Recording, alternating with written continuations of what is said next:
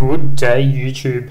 Today I'm just taking a bit of a quick look at Ubuntu Budgie Edition, so also version 22.04, which is actually the beta release. So it is actually uh, set to come out on the, I believe it's the 19th of April, so the next two to three weeks or so there. But basically all sorted out and ready to go, so I thought I'd give you guys a bit of a look at it. Now, the major difference here for this operating system, as you might guess, is the Budgie desktop environment. So it is really uh, a little bit different to the rest. It's built from the, the ground up in a way, uh, although I've got to say it is tightly integrated with the GNOME stack.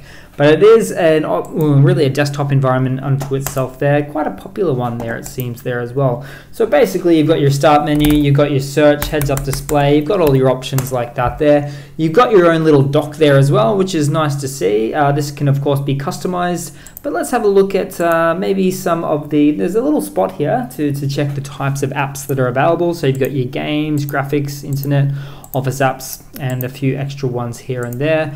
But it's, uh, it's very reminiscent of the Mate desktop environments, in my opinion, with a, uh, yeah, I guess, a just a, a, a, dash down the bottom there, or a taskbar of sorts, or a launcher. Uh, if we were to also maybe have a look at the uh, file manager, now this one here is the, the GNOME files, or at least it should be. I am just learning to navigate as I'm chatting with you guys now. So here it is. Great. I found the help menu. There we go. So it's the Nemo, uh, well, aka Nautilus, aka GNOME Files, but the Nemo file manager there. Nice little dark mode there as well, I've got to say. Right click and open terminal, and uh, that keeps me pretty happy.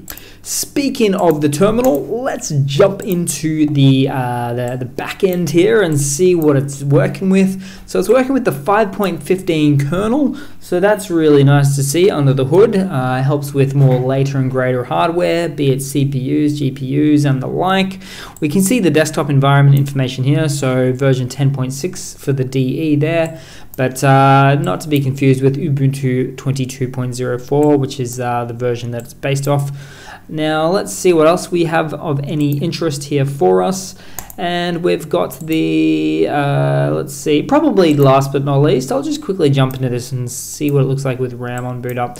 So it does actually use quite a bit of RAM there. Uh, in fact, there's a bit of in the swap drive there as well. So you're almost looking at about a gigabyte of RAM on boot up. So it's certainly not the the most lightweight of operating systems. Um, so always something to keep in mind if you're going to use it for, say, a, a notebook, a netbook, uh, you know, uh, an old desktop PC. Yeah, so it's not exactly the lightest weight operating system to say the least. I would probably recommend XFCE, Lubuntu, or Mate editions instead. But that's pretty much it, guys. I just wanted to give you a bit of a look and feel uh, for Ubuntu uh, Budgie Edition version 22.04.